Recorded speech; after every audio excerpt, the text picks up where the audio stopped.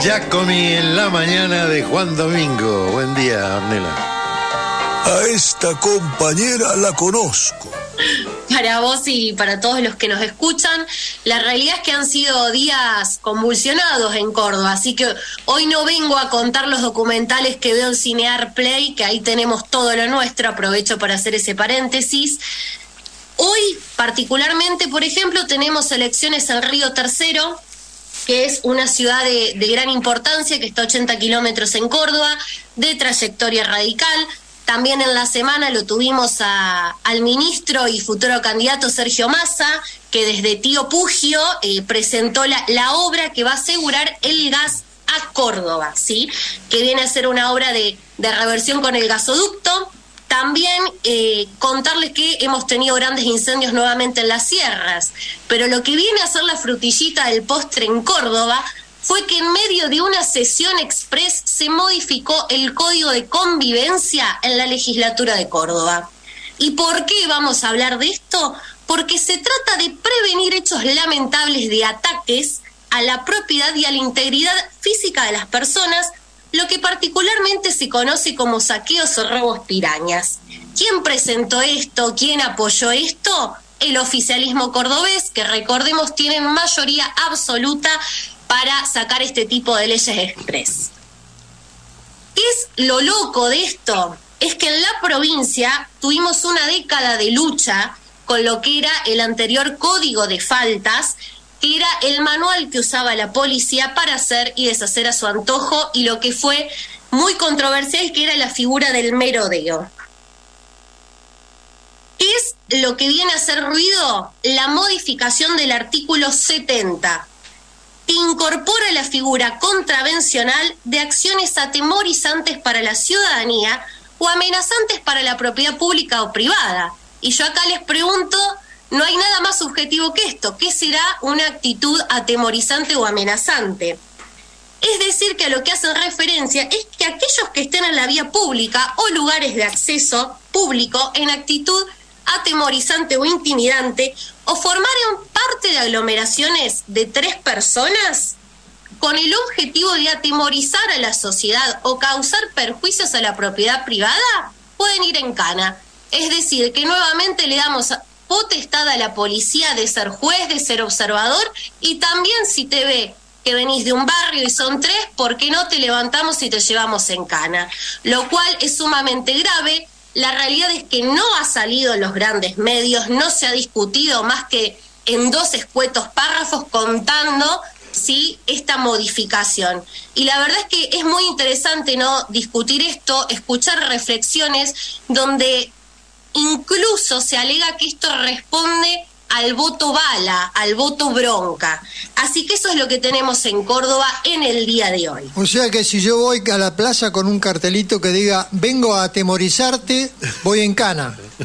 Totalmente. Vamos todos en cana. Y no solamente que vamos todos en cana, sino también que tienen la potestad de incautar celulares, tablets y cualquier tipo de instrumento, lo cual aparte de volver a la implementación de reformas represivas, también eso es un derecho eh, que está siendo vulnerado, que es el derecho a la intimidad de las personas.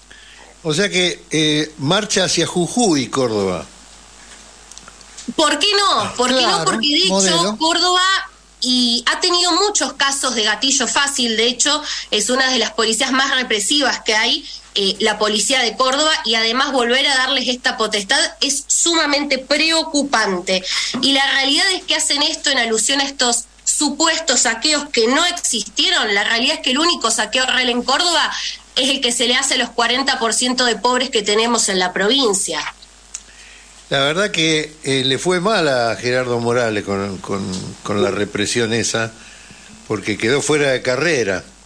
Y, y la que queda en pie con esa política que está copiando Córdoba, me parece que va a quedar también fuera de carrera.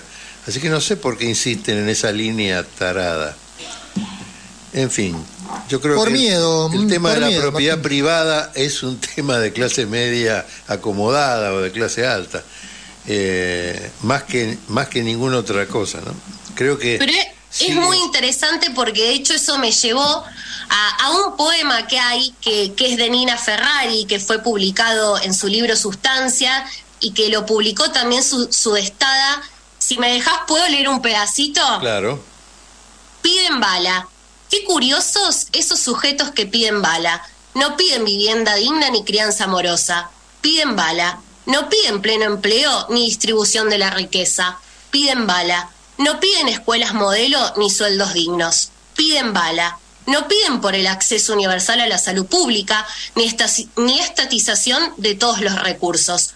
Piden bala. No los he escuchado pedir por los más débiles, no los he visto por los olvidados, ni ofrecer su cuerpo y su vida a la causa colectiva.